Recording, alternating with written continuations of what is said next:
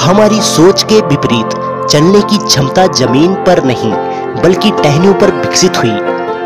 इस तरह दोनों पैरों पर चलना इंसान की नहीं, बल्कि एप्स की खोज थी। और यह परिस्थितियों के अनुकूल बदलते रहे। कुछ चिंपैंजी और कुछ गोरिल्ला में विकसित होने लगे और कुछ इंसानों के समान विकसित होने लगे। यह पूरे अफ्रीका में फैले हुए थे।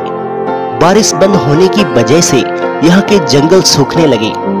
जंगल सूख जाने का असर इन पर पड़ने लगा, जिसकी वजह से इनको खाने की समस्या होने लगी, और जिसकी वजह से यह पेड़ों से उतरकर अब ज़मीन पर अपने कदम रखने लगे।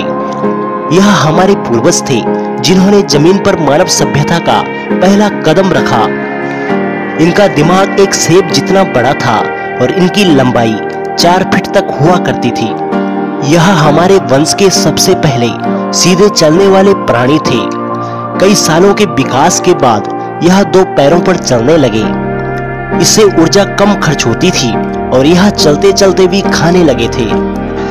दो पैरों पर चलने से यह अब सीधे खड़े होकर दूर दूर तक नज़र रखते थे।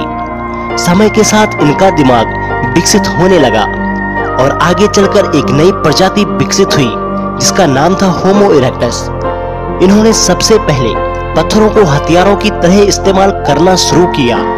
जैसे ही इस मामूली से पत्थर पर धारदार किनारा बना, हमारे पूर्वजों को हथौड़ा मिल गया। अब यह बहुत सारे काम कर सकते थे। समय के साथ अब हमारे पूर्वज समूह में रहकर अन्य जानवरों का शिकार करने लगे थे। होमो हेवलस प्रजाति ने सबसे पहले आग की खोज की। यह काफ़ी बुद्धिमान थे। यह इनके लिए सबसे बड़ी खोज थी। इन्होंने धीरे धीरे आग पर मांस पकाना सीख लिया। अब आग पर खाना पकाने की वजह से इसको पचाने के लिए कम ऊर्जा खर्च होती थी, जिसकी वजह से यह ऊर्जा उनके दिमाग में विकसित होने लगी, जिससे उन्हें ज़्यादा ताकत मिलने लगी। करीब दो लाख साल पहले यह पूरी तरह इंसानों के रूप में बन चुके थे। हेलो दोस्तों, अगर आपको यह वीडियो पसंद आई हो तो कृपया हमारे चैनल को सब्सक्राइब ज़रूर करें। व हमारी वीडियो को लाइक व शेयर करें, ताकि हम और मेहनत कर सकें।